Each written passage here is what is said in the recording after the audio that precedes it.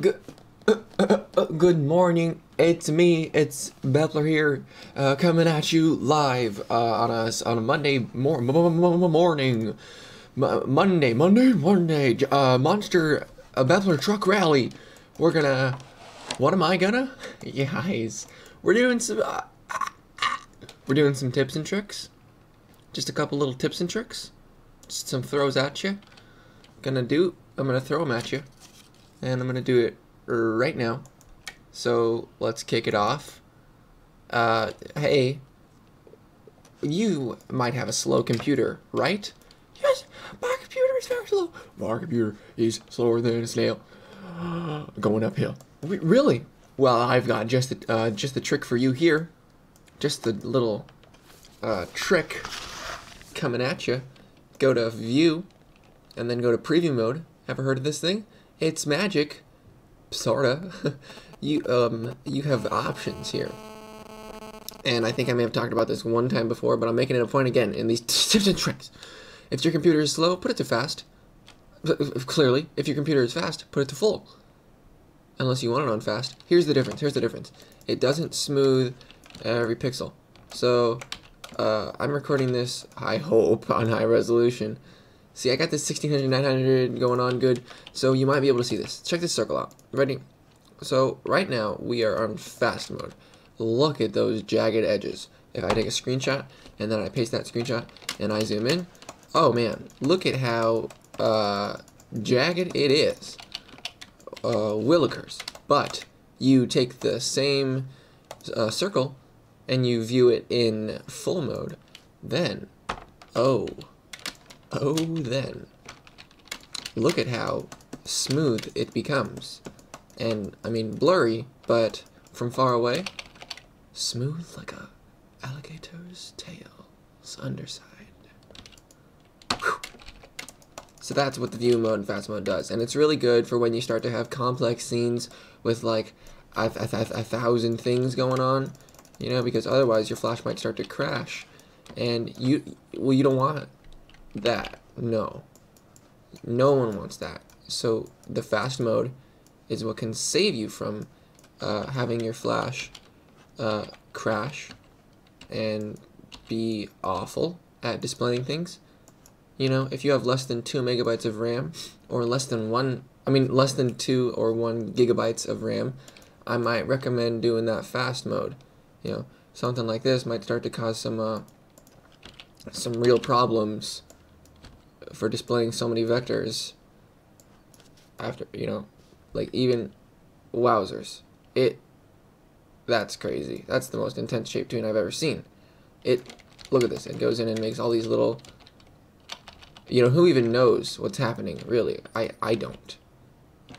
That is insane. Oh look and my mouse is lagging. I think flash might just take a little dive right now. You know why? Because i'm not on fast mode. Mmm. Classic mistake, Andrew. Classic mistake.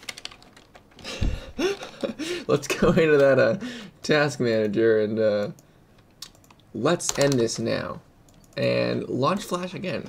What a tips and tricks tutorial it is. It's so relevant to what I'm talking about. Next tip, stream audio.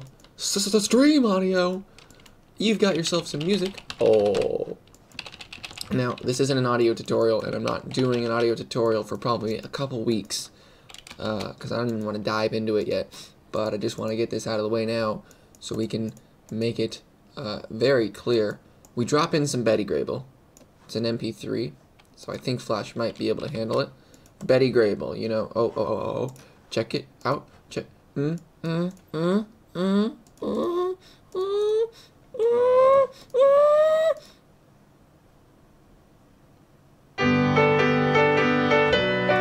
See what I'm talking about? See, it's music. Bam! Slam it onto that stage. Where does it go next? Into our timeline. Well, we see it up here, right? We see it up here.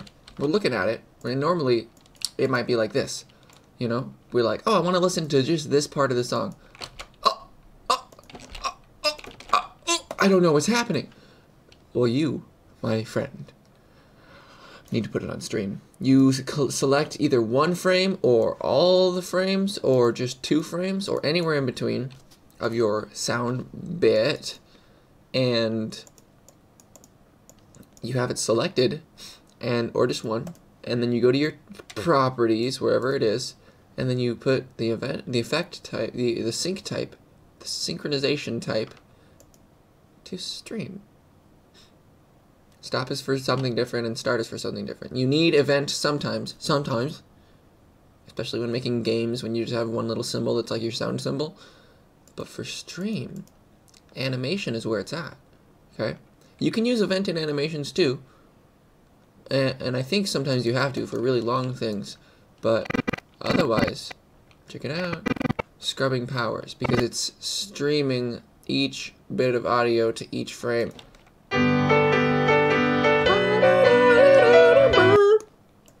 Just like that. Good going? Good going. Okay, let's uh let's uh get rid of that little piece of sound bite right there. Let's get rid of it. Next trick or tip: tween curve transfers. Ooh. I already talked about this in my typography tutorial, but for one quick little recap, and I swear I, I will be speedy.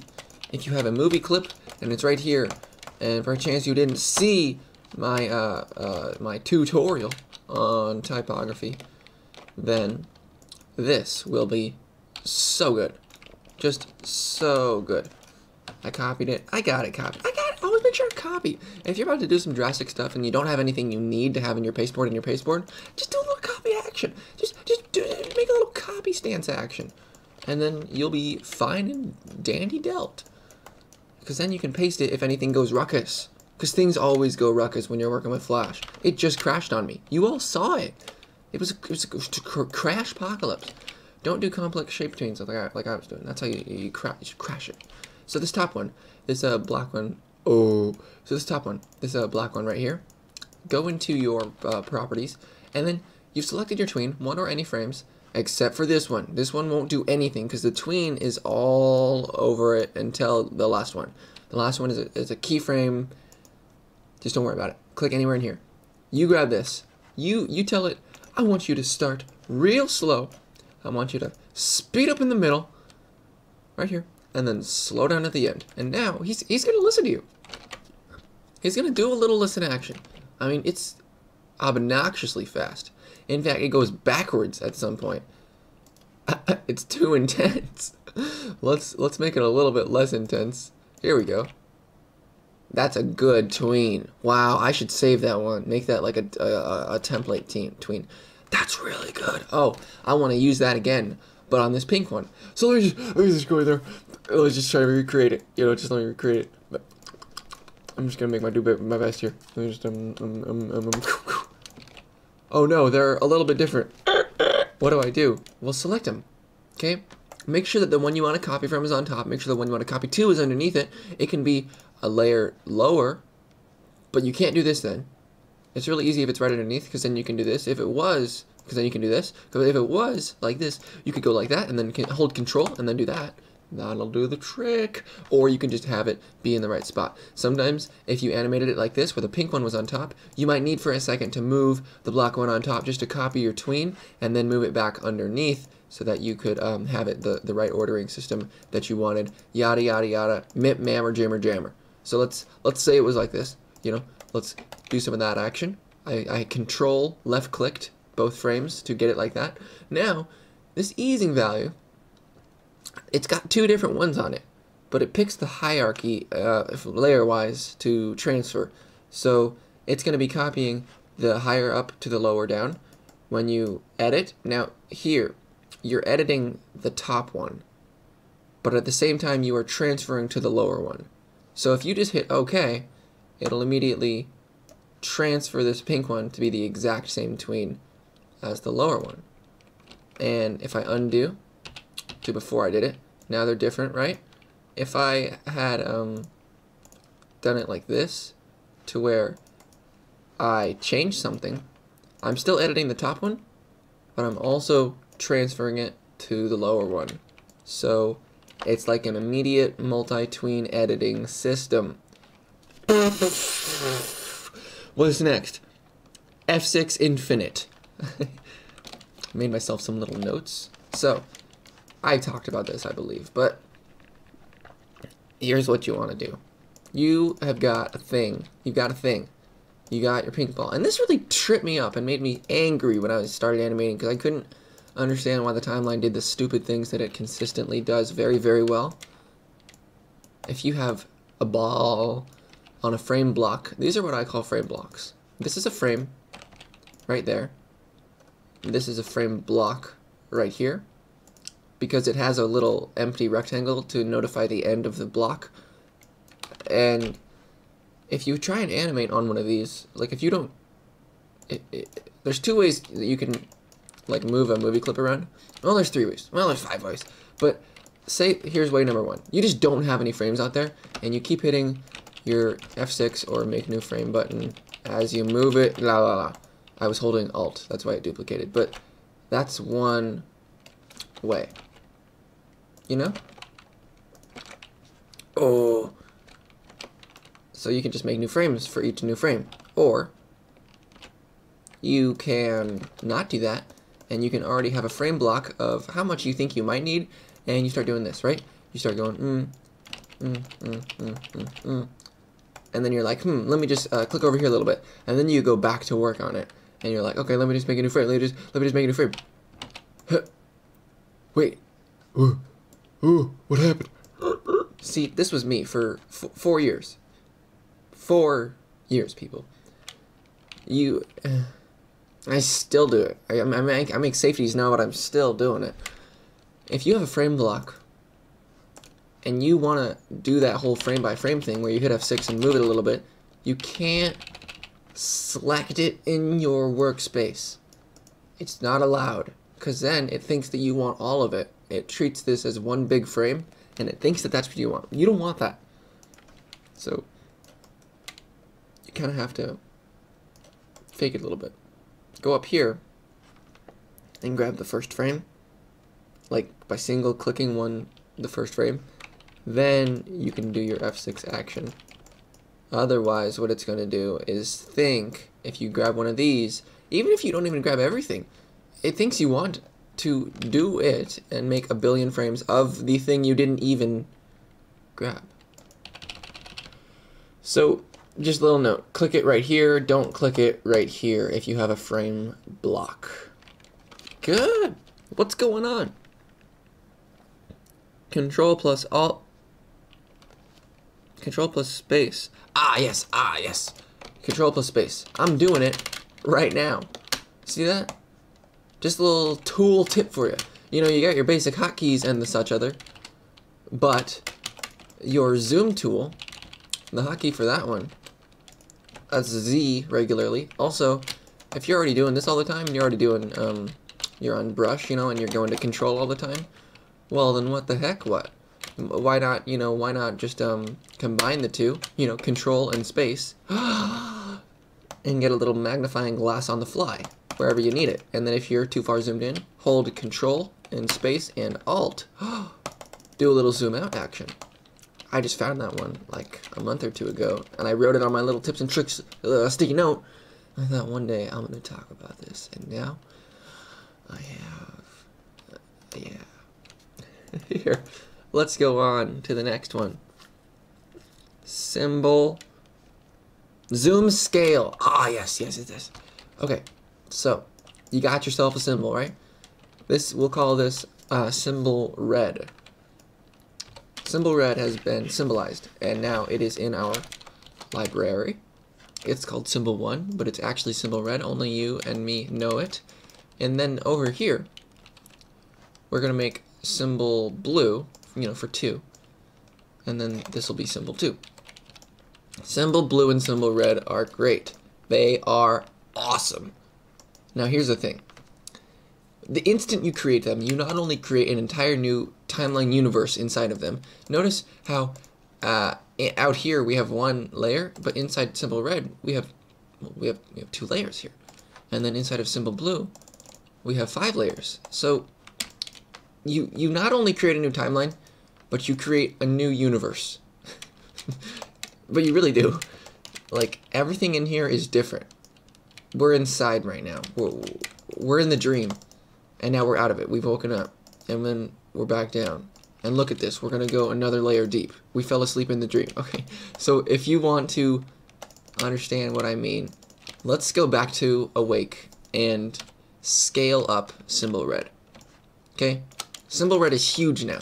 It's it's giant. Now before I explain what I mean, let me just do a little example. My monitor is 900 pixels up and down.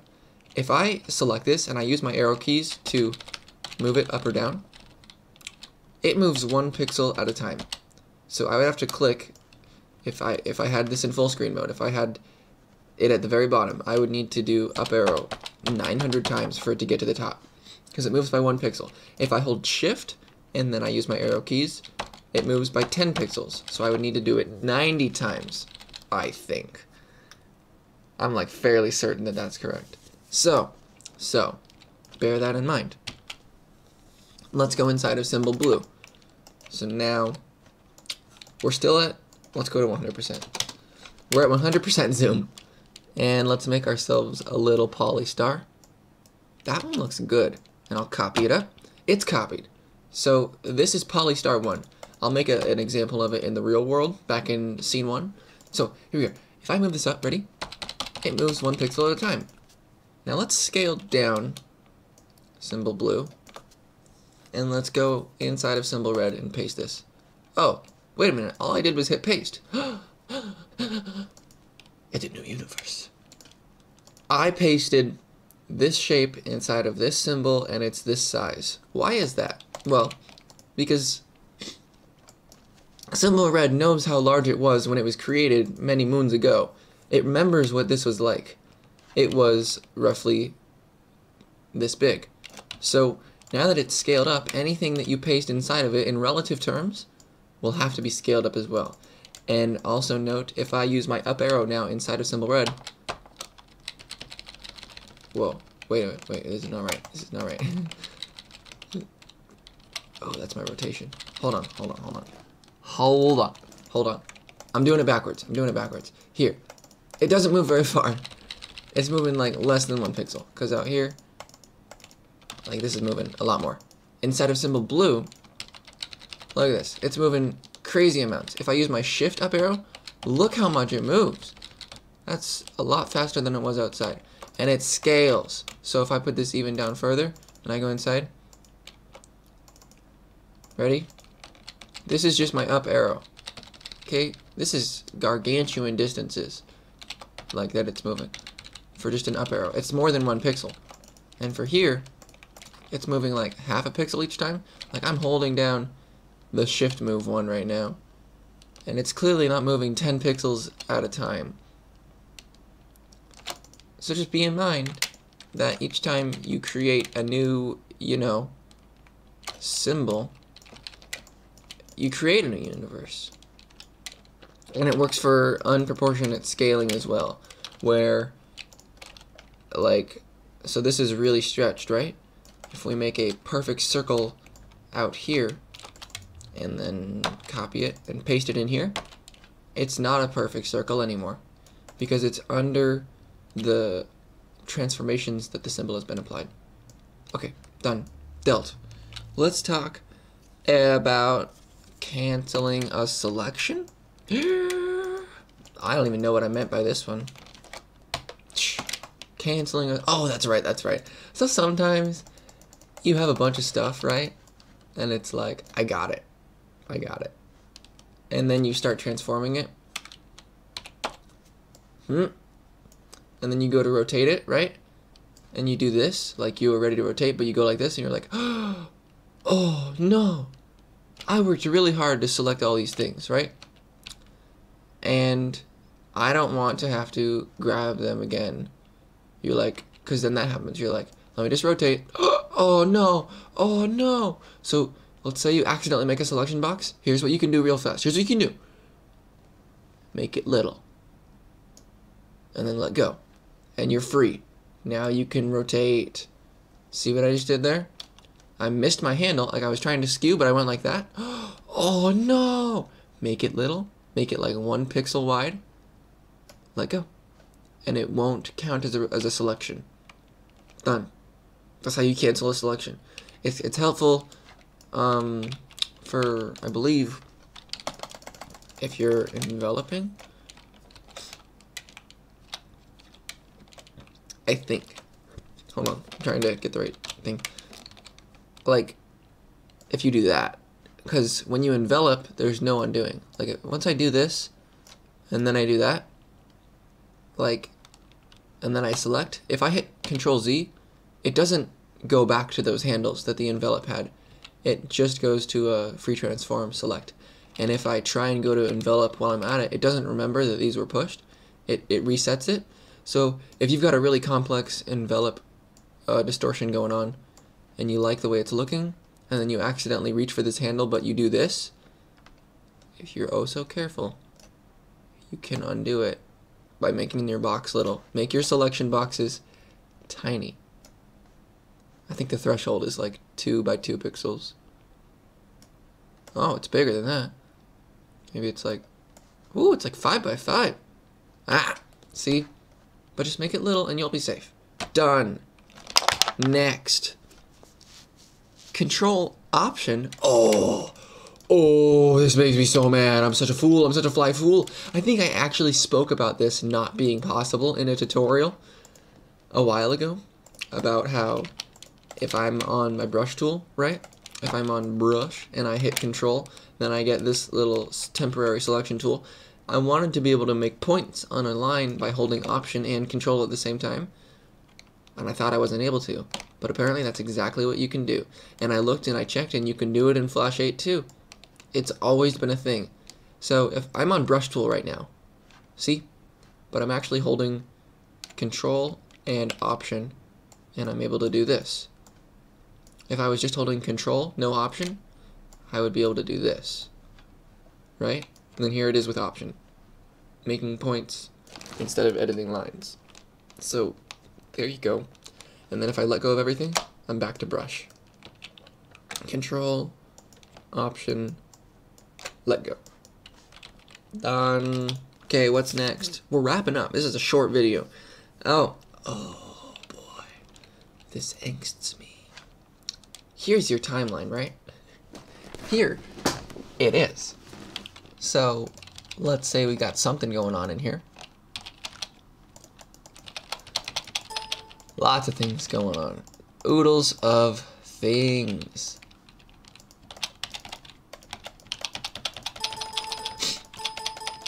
Jeez, that shouldn't be coming through your ears. What's up with this timeline? Well, there's frames and frame blocks all over. If you hold control, wait, what? Not that. If you hold um,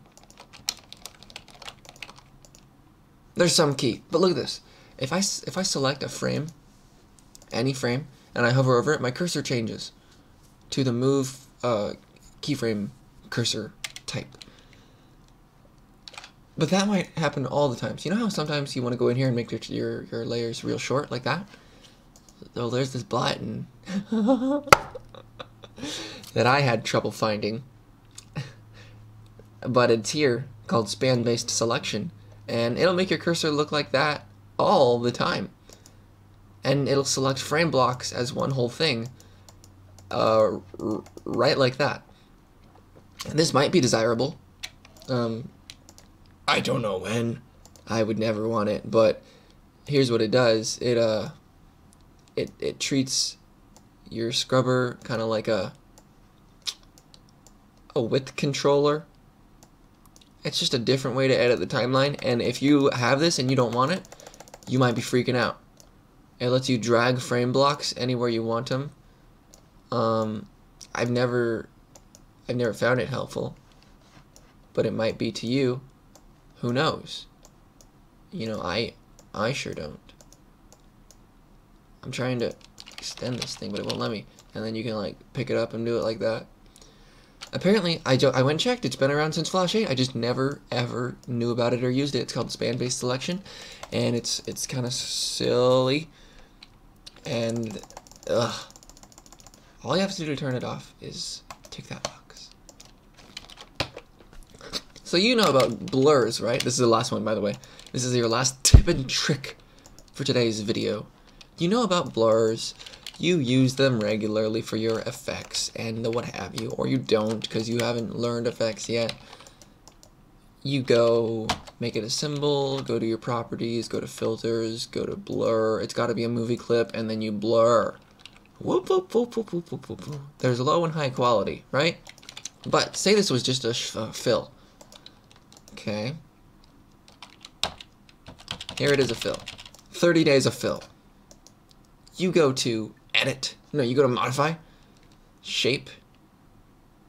Wait, wait, wait. Hold on, hold on a second. Um. Shoot. Is it selected? Oh, okay, okay. Modify shape once it's selected, and soften fill edges. Are you ready for this? Put it at 10 pixels. Put it at 5 steps. 2 steps. No. 2 pixels per step. You're going to expand. Ready? What? What? What has it done? Oh my gosh. These are just lower alpha layers of the same color. Here's a 20%. Here's a 40%. 60, 80. Oh my. Oh my gosh. Let's do that again. Modify, shape, expand fill. Let's go 50. Or no, that's not what I meant. Expand fill just does that. It just puts a larger fill around it. But I'm talking about this soften fill edges. Let's put this at 50, and let's put this at 10. It looks pretty blurry from back here, right? But wait a minute. This is no movie clip. This is all native flash vectors. You can pull it whichever which way you want. Fills. Look at this stuff. It's some kind of magic. I I still don't understand that this has been around since 8. And probably MX. Who knows how long. But you can just make blurs in-house, in thing, without it having to be a movie clip. So, say you've got like a uh, thing you want to have blurred, but you want it to be animated, and you don't want to... Here. It's not super applicable, but it's real cool. Like, oh my gosh. Rectangle primitives, the worst, the worst. They don't make any sense. They're useless. Uh, you, you do this, you slam some jam on it, uh, you do a little tween action, convert to classic, do uh, a bitty little start fast and slow, as you call easing out, and then you go in, you make it frames, right? You make it frames, then you go in, you set your edit multiple frames button, you put it on all of them, you select all, you break apart, you go modify, shape, soften fill edges, put it like that. Look at that. You got a blurry thing that's native. It's native. It's it's friggin' it's cut apartable. It's this stuff. Like, I mean, it's um it's that. You know? It's it's it's fills. No questions asked. That's not a mask. That's happening because I have gone in and frame by frame erased that from each shape. Like, these are edges. I don't know. It's just cool. Like, you wanted to do like something like that, and then it's just done. I, I, I don't know. You can do it, and then also as you saw, you can um, you can expand fills like without using the uh, eye the eyedropper or without using the uh, paint bucket ink bottle. Like you've got yourself a lovely line that you drew, and you want it to be thicker. So you can just go shape, expand fill, make it by, I don't know, 30. Wait, no, that wasn't supposed to happen. Hold on, hold on. Modify shape, expand fill, make it by 5. Modify shape. How about by 10 now?